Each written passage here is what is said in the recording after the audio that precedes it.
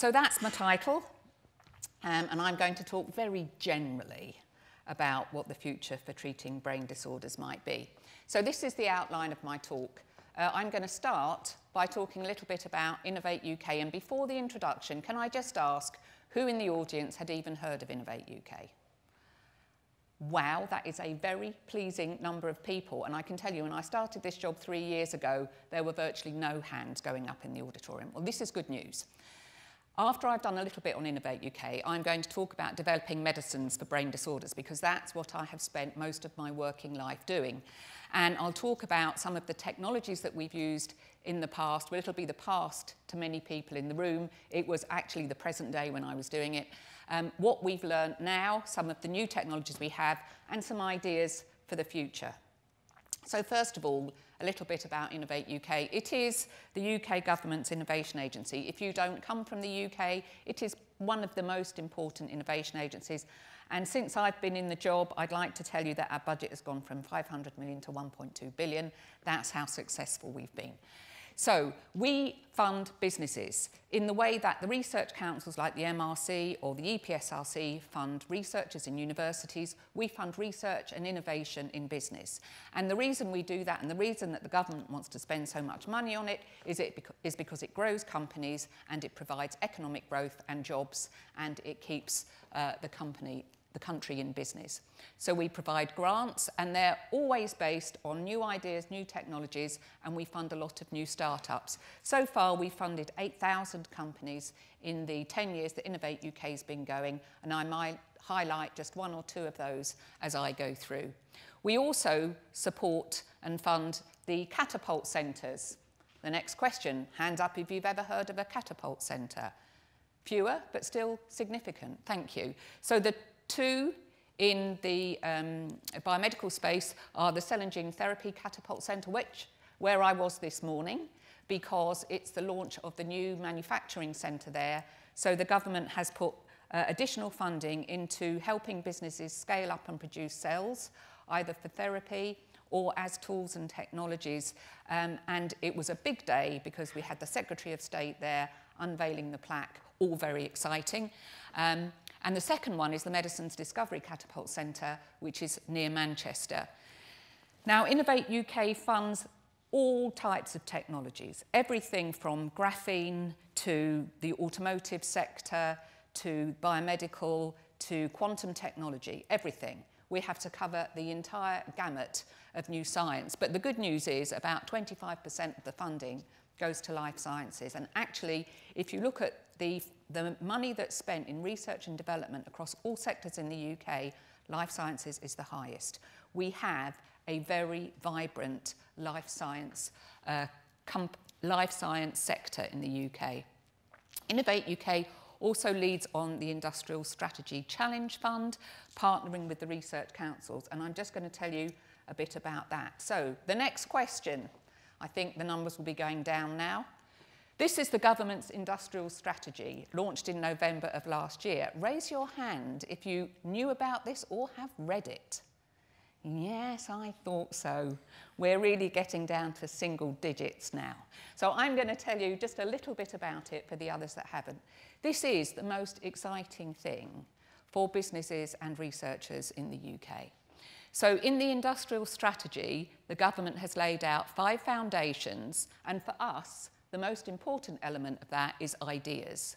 And they, they say ideas, but what they really mean is research and innovation in areas that are going to be absolutely critical in the future. And these are the four grand challenge idea areas. So clean growth, and secondly, the ageing society, quite broadly, then uh, artificial intelligence and the data economy, and then the future of mobility. And the ageing society really covers an awful lot. At the moment, there are 100,000 people in the UK that have reached the age of 100. There are alive 10 million people who, unless something bad happens in the future that we don't know about, are predicted to reach the age of 100. The demographics of the ageing population is a massive challenge for the UK and actually for most parts of the world. So what are we going to do about it? How will government funding help us meet some of the challenges of the ageing population? So the Ageing Society is the challenge area. The Challenge Fund is a fund that Innovate UK, in partnership with research councils, provides to businesses and, and researchers to work together to solve some of the challenges that we're facing. So the challenges must address an important part of that societal issue and they must create economic growth. And so far, there are 11 challenges and three of those are in the healthcare area. So these are the three challenges. 188 million is being put towards manufacturing uh, medicines technologies. So that's not just the traditional small molecules. It's things like vaccines. It's things like how to manufacture cells for cell therapy and how to use them in advanced therapy treatment centres. And there's additional funding there for small and medium-sized enterprises to work on digital healthcare. The second area in the second wave, which was announced earlier this year, was uh, to improve the data that we have that can be used for early diagnosis and precision medicine. And that will include the sequencing of the UK Biobank, which at the moment is half a million people. Um, and there's a, a large number of samples in there. And the second part of that is automated pathology and radiology to speed up diagnosis. The third area is specifically to develop technology and products to help people maintain independence as they grow older. And one of the recent events, if you're not familiar with it, is the formation of UK Research and Innovation, which brings all the research councils and Innovate UK together. And when we look at challenges like healthy ageing, this is not a challenge that any one council or any one area can solve. So we have to work together to solve this challenge. So here we have people like ESRC, social research, um, epidemiology research, medical research, business funding, all working together to try and develop a technology or products that will allow us to look after maybe 10,000 people using one system um, to keep them well managed as they age, incredibly important uh, for patients with Alzheimer's disease, for example. Now, the third wave um, the calls for the challenge areas there has just closed, so I can't tell you any more about that for the moment, but I'm really hopeful there will be additional uh, biomedical challenges in uh, wave three. The fundamental question you have to ask is, with all of this additional funding in the in Industrial Strategy Challenge Fund, getting on for two billion uh, pounds more, why is the government spending so much money on research and innovation? I ask this in a rhetorical way, but if you're a scientific researcher, it is not because the government loves research. What the government actually cares about is the economy of the country and looking after the people in the country in the most economical way. So this is about growing businesses producing products that people need and understand and making sure that we are resilient in the future. As I said, Innovate UK covers all areas, and in most areas of science, 10 years of research delivers great new products. Products that are made in factories, employ people, are exported, uh, create GDP for the country, and here are just three that I've been particularly close to. So this is the UK's autonomous pod that was first built at the um, Transport Systems Catapult. And it's there as a demonstrator to integrate technologies from all different places. So Oxbotica is a small company that does all the artificial intelligence on integrating um, where the positioning of the car in the road, licensed to many other car making uh, manufacturers. So that was something that was funded through us. This is a shadow robot, a hand that can, is being developed to do some very fine tasks like picking strawberries, because it may be that we need more automated ways of looking after our agricultural sector in the future. And this here is specific. So this is, um, uh, specific is the name of the organisation that's developed this classroom, which is energy positive. It doesn't require any, any energy to run it. You can actually charge your car off it. It is entirely self-sustaining and it uses 20, 26 different technologies, all generated in the UK, integrated into a classroom, and it is completely standalone. And they're now working with companies in India to perfect it for other parts of the world. So 10 years of research, you can do some pretty amazing things. But that is not true in healthcare. In healthcare, the goal here is to prevent, treat, or cure disease. That's why we do research. We want, to, it, we want it to benefit patients, we want it to benefit the economy. But in neuroscience in particular, 10 years of research has never provided a new drug, and I'm going to tell you some more about that. Um, but it has provided new, new tools, new tools to develop new medicines.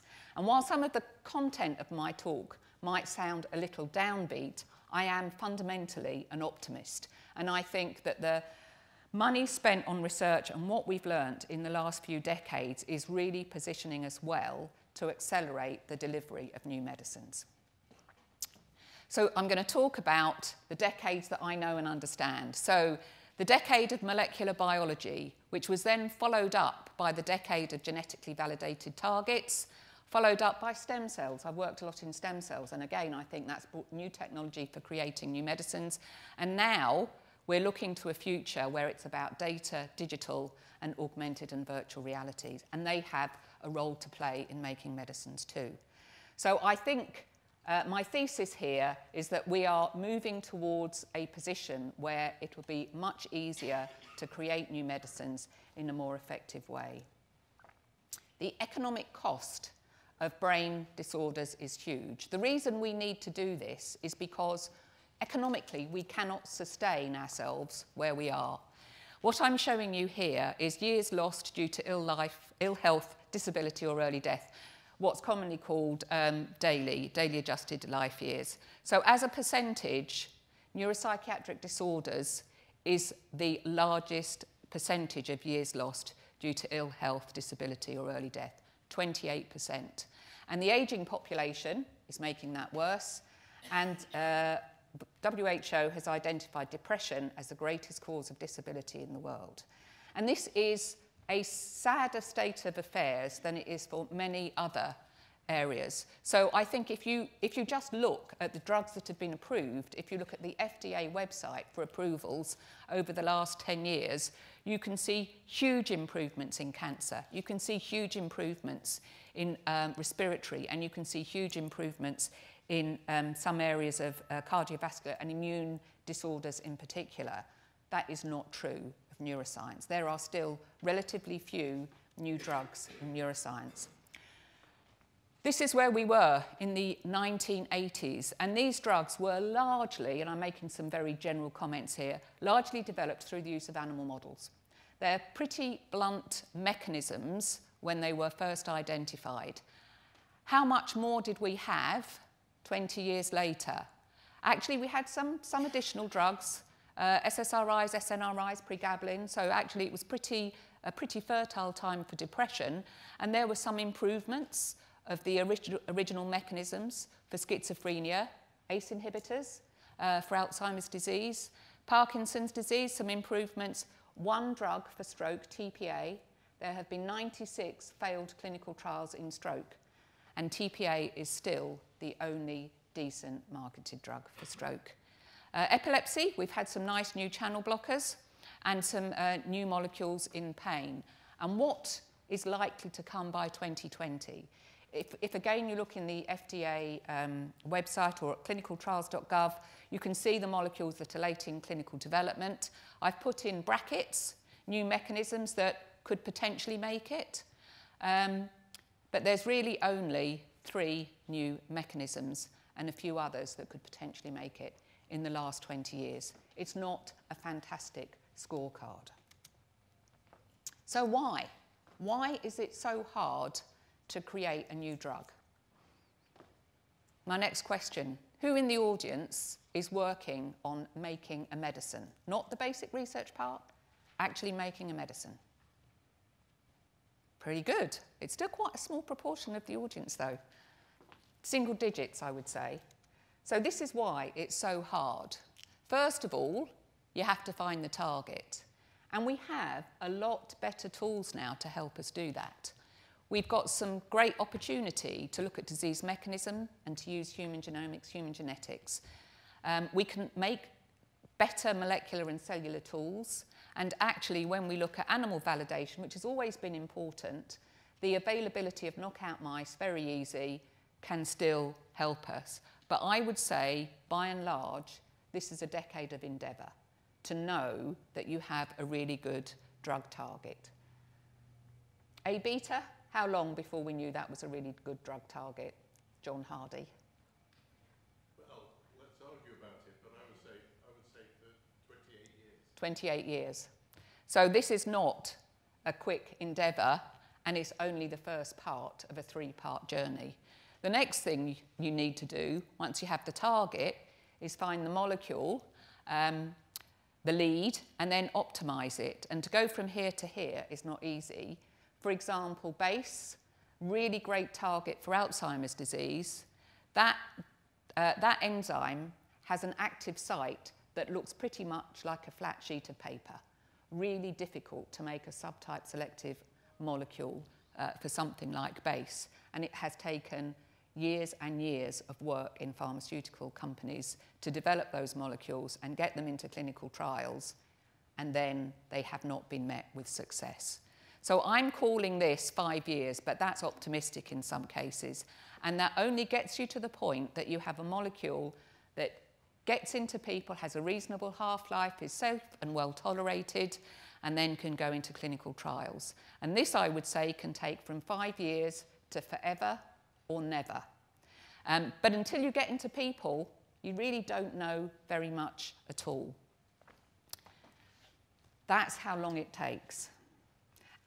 Another point to make here is that once you find your molecule somewhere in here and file your patent, you have 25 years to make a profit. And so if this takes 25 years, the patent could easily have expired by the time you start getting any money back. This is not a helpful thing. So let me give you a few stories. First of all, a classic example, and I say it's classic because it's the one I've worked on uh, for many years.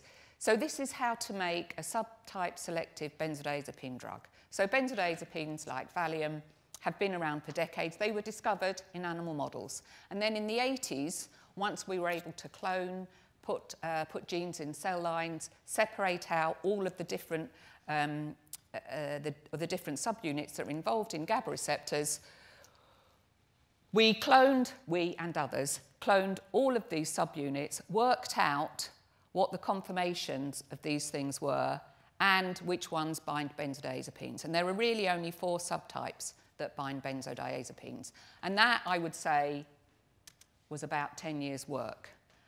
After that, we made subtype selective compounds against some of the subtypes. And the job here was to try and separate out the different effects of benzodiazepines. So, what do they do? Valium works in anxiety, and we we proved that with a small molecule in three different animal models. An animal model of uh, mice exploring a, a new environment, a plus maze where we put the mice on a, an elevated platform, and then fear potentiated startle, another classic uh, model where animals jump and people jump. If you're less anxious, you jump less. That is measurable. And we tracked that down to the alpha 2 3 subtype using uh, genetically modified mice and a selective molecule. Somnolence, the sleep-inducing effects of benzodiazepines, is mediated through the alpha-1 subtype. Aha, we thought. We can make a molecule that is useful in anxiety and doesn't make people go to sleep. That would be very useful. We also knew that the alpha-2-3 subtype is very important for treating epilepsy, as benzodiazepines are. Then there were some additional um, properties that benzodiazepines have. First of all, they uh, potentiate the effect of ethanol. I'm not suggesting you try this, but if you take a benzodiazepine and a very small dose of ethanol, you will hugely exacerbate the effect of the ethanol and it'll probably knock you out. And that is the fundamental principle behind um, a lot of um, misuse of drugs in uh, unpleasant circumstances. And I don't think we'll go into that anymore. The last um, the last property of benzodiazepines is they impair cognition. So people who take benzodiazepines for even a relatively short period of time can have episodes where they just don't remember what happened uh, while they were under the influence of the benzodiazepine. So an agonist, benzodiazepine, impairs cognition. Aha, we thought. If you can impair cognition with an agonist, can you make the inverse of an agonist, which you can at an ion channel, and could that improve cognition? Uh, and then there's some additional uh, properties, dependence and abuse potential, that are much less easy to test in these models. Um, so the hypothesis here is that we could create an alpha-2-3 selective molecule to treat anxiety and an alpha-5 inverse agonist to enhance cognition. And this uh, front cover of Nature Neuroscience in June 2000 was probably the highlight of my personal early career, and it was 10 years' work by my group that at the time was, was you know, 25 people, and we were pretty damn excited when we got that. Now, is there anybody in the audience that knows what's wrong with this picture? This is a white mouse. Transgenic mice are generally not white. They're black six, aren't they? So they're some kind of hybrid, but we took this picture of the mouse uh, weaving its way through a molecule of diazepam because that's what nature said they would like to have on the cover. So that's what we gave them. And, and you can't actually see all of the people uh, standing outside of that trying to get just that picture. But it was a really exciting moment. So, so you're going to ask, what happened to those molecules? Did they actually work? So in clinical studies, we did what we set out to do. We made an alpha-5 inverse agonist that in rats enhanced cognition. This molecule, MRK016, we had a massive publications out of this. It was hugely exciting. And then we took this molecule into man, and in normal volunteers, the maximum dose that people could tolerate was five milligrams. And that we calculated from our fMRI studies occupied 75% of the receptors. 10 milligrams caused lightheadedness, tingling, dizziness. They were serious side effects. However, when we gave it to the elderly, it was very much worse. And actually, they could only tolerate half a milligram, 10% occupancy, and we really couldn't do any cognition study at all with that molecule because for most of the 24 hour period, there just wasn't enough receptor occupancy to be worth considering. So how about our alpha-2-3 molecule? Was that any better? We made a molecule that was non-sedating and anxiolytic in rats and also in primates, MK409. In man, we managed to get receptor occupancy at the minute dose of one milligram, but in our PET studies, that showed us we only had 10% occupancy. So here's the placebo. When we give the uh, volunteers Merck 409, there's really not much reduction in the signal. Uh, and the animals, these are at two different time points. And what happened in these patients was they fell asleep. So our original hypothesis that the alpha-2-3 selective molecule would be anxiolytic and not sedating just did not hold up, and the animal studies didn't predict man. And that is 15 years' work by 100 people and many, many millions of dollars. But all is not lost. Just this year, 40 years after the original hypothesis, 25 years later from our first uh, study, a group at Pfizer, and coincidentally I moved from Merck to Pfizer, a group at Pfizer created a different molecule, PF, uh, we call it 2865, just published this year, and it has high efficacy at alpha 2, and in man, we are able to get up to 90% receptor occupancy with no sedation. And here is the fMRI pictures where you can see great signal with flumazenil and virtually blocked at the early time point, some recovery at the next uh, time. So we now have a molecule um, just published this year that proves the hypothesis was correct, but it took decades. Yeah. Well, so this is the exciting thing, in a way.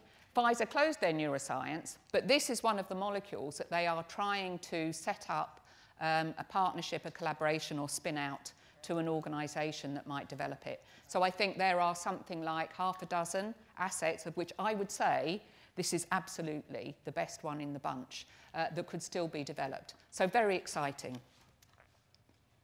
So GABA, 40 years and counting. What came next? Genomics and stem cells. So let's talk a bit about identifying new drug targets using genetics and genomics. And people here, I think, will be familiar because this is, this is what this audience knows about. You can look at rare, uh, rare alleles, um, so-called Mendelian disease, or common variants. Uh, these have much smaller effects, these have much larger effects, or you can look at low-frequency alleles that are um, really at the extreme of uh, subjects when you look at the distribution of, of a set of properties.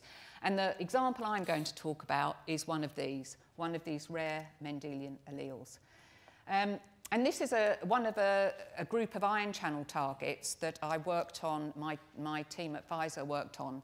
And um, this is the SCN9A is the gene, the sodium channel NAV1.7 is the gene product, and there are some rare and very serious uh, disorders that are linked to this gene. In patients who have a gain of function mutation, they have what's called um, uh, uh, erythromelalgia. So these are very rare. There are only a few families um, in the world, and what happens is they're reasonably comfortable at ambient temperatures. When it gets a bit warm, they have the sense that their flesh is on fire. It is extremely painful. These people rarely go out and they sit in front of a cooling fan for most of their lives. Actually, suicide is not uncommon in these families. So that is the gain of function mutation where the channel is constitutively active pretty much. This is the loss of function mutation. And you might think if you uh, have no functioning sodium channel and you don't feel pain, this would be a good thing. These are the hands of a small child who can feel no pain and essentially chewed her fingers off. So we have here a gain of function mutation and a loss of function mutation. And in fact, now we know there are at least 25 different types of mutations in the sodium channel. Not all have been characterized. Now, when I started Pfizer Nucentis, we thought it would be a great wheeze to do a deal with 23andMe and see if we could find some new um, targets for pain. Big data approach. So Pfizer sent a questionnaire out through 23andMe with a lot of questions about the sorts of pain that you experienced, the drugs that you took, and we looked to see, I think we had oh, tens of thousands of responses. We looked to see whether we could find any linkage with a specific um, gene. We did find one thing, not hugely useful for pain, but we found one thing. Is there anybody in the room who doesn't cry when they cut onions? You should try this. Yeah, okay, we have a couple. Now, the reason you don't cry when you cut onions is because you have a specific mutation in one of your TRP channels. That's what we found from a very large amount of money going to 23andMe and a very big study. We didn't find anything for pain, but we know why you don't cry if you uh, cut onions. The great thing, though, about having patients with an autosomal um, dominant gene that drives their pain phenotype is that we could take um, cells from them, turn them into um, sensory neurons by making iPS cells and then differentiating them. And having worked on iPS cells, we were able to recapitulate the action potentials and the calcium waves and really recapitulate most of the physiology of a sensory neuron, including things like calcium waves and calcium networking in sensory neurons from iPS cells. So we thought, why don't we make the iPS cells from the patients and see what they respond to? So we did. So we were able to, working with Steve Waxman at Yale, track down some of the patients that had this rare problem. And what we found when we turned them into sensory neurons is that compared with normal donors, a lot more of the erythromelalgia patients had spontaneously active sensory neurons. And in order to get the cells to fire, they required much lower injection of current than the normal donors. And even better, the NAV 1.7 blocker that we made blocked the channels from the erythromelalgia patients. And what we found then was that those patients required much higher uh, to be injected to get them to fire than the normal donors did. So this is all looking quite interesting. So what happened when we gave the drug to the patients? We ran a clinical trial with just five patients. Uh, this is the characterization of the five patients. Quite interesting, they, even though it's a mutation in the same uh, gene, they don't have all quite the same phenotype. And in fact, EM1 was a, a much milder phenotype than the others. Um, so they, they had their, their pain drugs removed, and then because they, uh, they need heat to um, spark off an attack, we developed a device that was a um, water going through like a blanket that could be wrapped around an extremity that we could turn and off and on very quickly, and we could even cool it. So if they were in terrible pain, we could reduce the temperature around the extremity. And we gave them uh, two trial periods, either with placebo or with 771, the drug. And you can see here, with very low concentrations of the drug, not much difference um, from placebo. And uh, at four hours, um, there's a, a two-unit drop in their pain score. This is a 0 to 10 um, pain score, which they rate every 15 minutes. And um, that was sustained at 8 to 9 hours, and that was statistically significant with only five patients. Hurrah, you might think. We have made a sodium channel blocker that works in pain. We also put this molecule into a broad population of uh, people undergoing dental surgery. And patients with erythromelalgia do not feel pain when they have uh, dent dental work done. When we gave it to a broader population of people, virtually did nothing. So there was another 20 years of work without having delivered a drug. Now, there are still people working on sodium channels, and there are many reasons why that molecule may not have worked. So I don't think it's all over yet. So NAV 1.7, 20 years and still going. What's next over the horizon? Machine learning and artificial intelligence. I think that is the forefront of where we are today. So now I want to talk to you about using artificial intelligence and machine learning. Let's talk a bit about depression. So digital phenotyping, when you use your mobile phone, you do many things that are characteristic to you, characteristic to your mood, and actually that information can be collected, analysed, and used to understand something about your mood, your state of mind, and your health. And there's a company, Mindstrong, led by Tom Insel, and this is exactly what this company is doing in a much more ethical way than many other companies who are using uh, information from your phone and your social networks. So that's one approach. The second approach is online cognitive behavioural therapy. You can have behavioural therapy one-to-one -one with your therapist. Actually, there's a lot of information now that, particularly for young people, doing this online in a digital way is just as effective and additional information can be collected that can be used to do machine learning and um, learn something about what works and what doesn't work. And the third one, which we're going to explore in a little more detail, is diagnosing depression and improving treatments using algorithms based on human emotional responding. And this, the company that has done this work is Pivotal, and I have to give you a disclosure here. Many of the people that work in this company were my original colleagues at, at Merck many years ago. Uh, one of them is, in fact, my husband. So just so that you know. Um, now, the premise here is when you meet somebody for the first time, when you talk to them, you very quickly make decisions about what they're like. So here, this is a, what you're seeing here is a face that's going from neutral to happy. And at some point during that transition, you will make the decision about how you're going to interact with this person. This is virtually automatic emotional processing.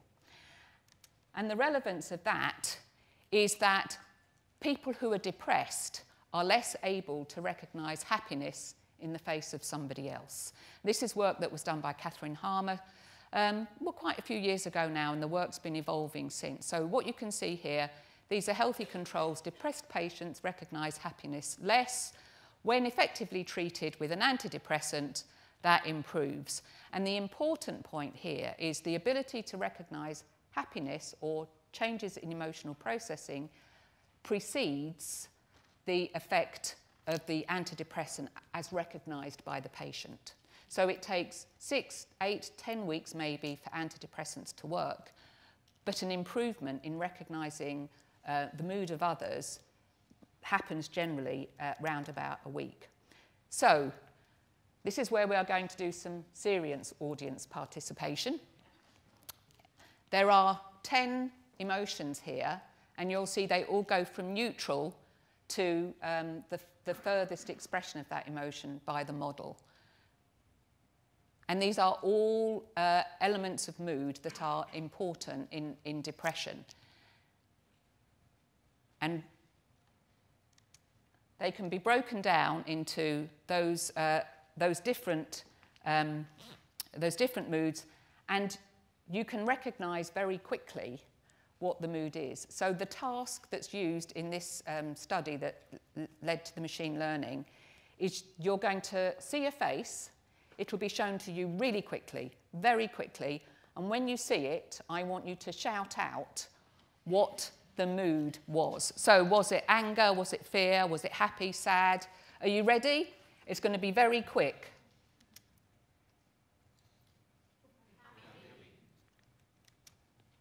Happy. I'm going to do another one. Remember, it's going to be very quick. You're good at this. right, here's the third one. Ready? Ah, not so easy. That one is 50% fear. 50% fear. So what this study does is looks at negative emotional bias. It goes from neutral to fear.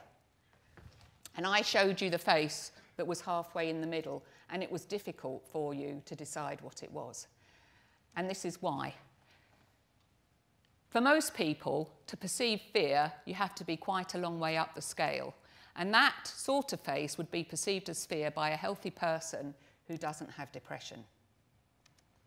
Now, for somebody who does have major depression before drug treatment, they would see quite a neutral face as fearful. And that is what we describe as a negative emotional bias. After treatment, this sort of face would be perceived as fear by a patient with depression after they've been treated, but before they would tell you that they feel well. And so the reduced negative emotional bias is what's measured in this study. So funded by Innovate UK, before I was the chief executive, before I worked there, um, Pivotal did this very early study looking at just 58 patients. And what they were looking at was whether citalopram improved the mood and whether they could see how the, how the mood was changing. And they used facial, facial emotional recognition task and an inventory of depression, a self-reported scale. And based on those 58 patients, developed a machine learning algorithm to predict the individual response, which has an accuracy of 74%. And now they have a much larger phase two study underway. And you can see the benefits here because if we're able to understand at a week if the medicine's going to work, you can either um, keep the dose, change the dose, change the medicine, or with a larger population, link the patient with the medicine that works best. This is machine learning to, to drive precision medicine, better diagnosis and optimal treatment. And it's not just in depression that machine learning is becoming much more uh, useful. So epilepsy, again, Innovate UK has funded both of these companies. Um, Shearwater Systems and actually working with MyCare Centric have developed an app that integrates wearable technology and measures seizures, heart rate, skin response, sleep patterns, and particularly what are the triggers for the epileptic fits.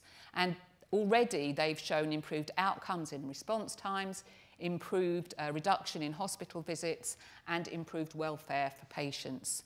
Um, again, in stroke, patient stratification is really important. Who's going to benefit from endovascular treatment? Brainomix is another company Innovate UK supported. And actually in the States, this company, Viz.ai, just this year got approval for a similar platform which uses AI to tell clinicians should this patient have which type of uh, stroke treatment? Should they have TPA? Should they have a thrombectomy? and also, just last year, for schizophrenia, a drug in partnership with a digital sensor that tracks whether patients have taken their medications. So where are we now and what can we see in the future? This is the same table that I showed you earlier. What's coming down the track? Devices for Parkinson's disease, uh, we can expect to see improving um, L-DOPA and the, the dose and the, the um, peak to trough uh, L-DOPA levels. Thrombectomy, not a drug, but an intervention for stroke. And I've just put here some of the things that we've talked about. I haven't talked about immune, immune therapy and, and uh, neuro, neuroinflammation, which is becoming um, much more relevant in uh, some of what we thought were psychiatric disorders are actually immunological disorders. I haven't also talked about virtual reality for managing um, schizophrenia and University College, for example, has got some really exciting work on using uh, virtual reality for managing autism. Uh, vaccination for Alzheimer's disease, this may come up later on. And then again, precision diagnosis for stroke um, and for epilepsy, and some really exciting stuff on epilepsy, again, using the same stem cell type approaches I've talked about and digital management of the patients. So some predictions. Here are my predictions for the future in my last few minutes. First of all, developing treatment for brain disorders is going to require more coordinated interdisciplinary research. That is absolutely standard. And the formation of UK Research and Innovation, which puts all of the research councils in one organisation, will make that much easier in the UK. I think there are only two countries in the world where all of their research councils are within one organisation that can move funds from one part to the other. It's the UK and Iceland. Iceland is so small that it can only have one organisation. The UK has done it because it believes that's the future. We had a bill passed in Parliament last year, and this new organisation uh, was formed on the 3rd of April this year. My second prediction, new, new treatment paradigms will come from patient phenotype based on real-world data. I think nobody would argue with that one and that the technologies developed in the last year are really a precursor and a necessary part to accelerate the delivery of precision medicines. We're going to see a lot more combinations of drugs with digital technologies, and I also can see that AI and virtual reality will open up new avenues for prevention, treatment and management of brain disorders. So I think the future is rosy, actually. It has been very difficult to make medicines, but the amount of research that has been done is making this immeasurably easier. It's very easy to come up with some predictions for the future, but the best way to predict the future is to create it. And that's why you are all here, because you will be creating the future. My last slide, a few acknowledgements.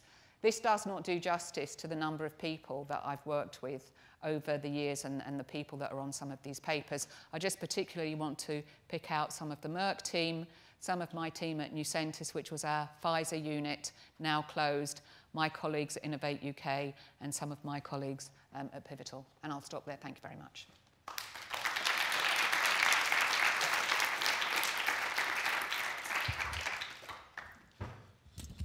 So we've got time for a few questions. John.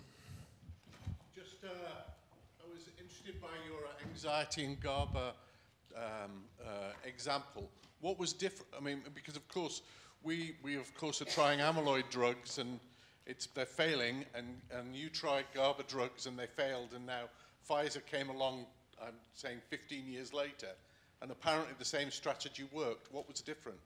Yes, I was hoping I wasn't going to get asked that question. Um, so, truthfully, we don't totally know. They were different assays. It may have been that our uh, initial cell-based assays um, didn't accurately predict what zero activity is. These are not binding selective, they're functionally selective molecules. They all bind, but they have different levels of efficacy. And actually, when you only need, with Valium, 5% occupancy of the receptor to see quite an anxiolytic effect, a really tiny uh, level of efficacy might be all that's required to produce sedation. So the, when we were at Pfizer, the assays that were developed there could have been more useful. It could be that the drug's interacting with the ion channel in a subtly different way. Um, there are many hypothetical reasons, but we have no real evidence because there's no side-by-side -side comparison that could be done. Two different groups, 10 years apart. Well, they're not completely different groups. Some of the people from the first group strangely moved to Pfizer and worked in, on GABA in the second company. But we don't fully understand it, John.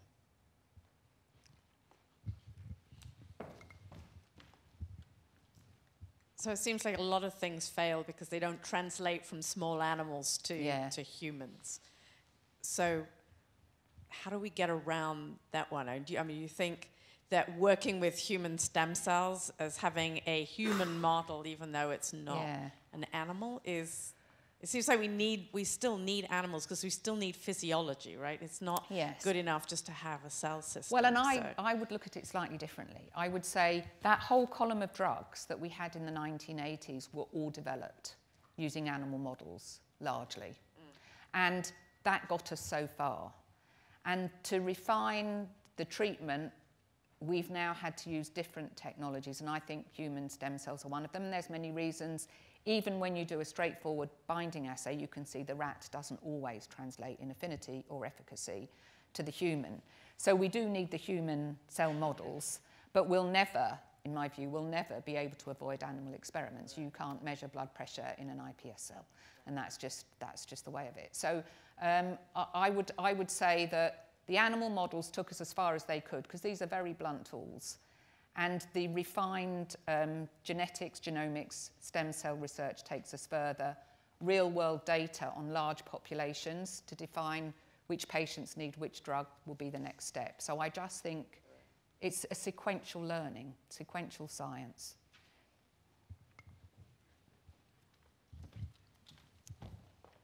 Hi, great talk, thank you. I was curious as a young researcher, I feel like one of the uh, one of the major needs that we need to identify is biomarkers. So I was wondering whether there is a con concerted effort from the government and also from in with industries and basic um, academic departments to really develop biomarkers, especially for neurodegenerative diseases. Yes, I could have done that whole talk on biomarkers rather than drugs. So clearly biomarkers are really critical, biomarkers for Alzheimer's disease, biomarkers for depression, and actually even just the test that you, thank, thank you all very much for joining in, the test that you did there, the emotional um, response, that is essentially a biomarker for depression. If you can't judge um, emotions in other people, that is a biomarker for somebody who's depressed. And those things help dramatically, dramatically. I, I just think that we can't be um, we can't be too careful in the generation of biomarkers. It's very easy to develop things that you think are fundamental to the disease, but then turn up in many other places. And, and particularly in neuroscience, when you think of the number of genes that each contribute a very small amount to the disorder or contribute to multiple different disorders, it makes it really very difficult. That's one of the reasons why neuroscience is the most challenging. On the other side, using artificial intelligence and reasoning and analysis is much more relevant for mental health than it is for some other indications. You couldn't do cognitive behavioural therapy in cancer. Last question over here. Um, I, I, thank you very much. Interest, very interesting, exciting talk, basically. But uh, I was surprised that you didn't mention uh, the um, oligonucleotide therapy for uh, neuro neurological disorder with oh, yes, I could put that in, yeah. No, you're right. An omission, thank you. Yes, and there, there is one just now approved, isn't there? Yeah, they are now approved. Well, yeah, there is one just now approved, so I should have had that in there. Thank you. Okay, I think probably in the interest of time we should move on, but uh, uh, once again, I think we should thank Ruth for her, a great talk.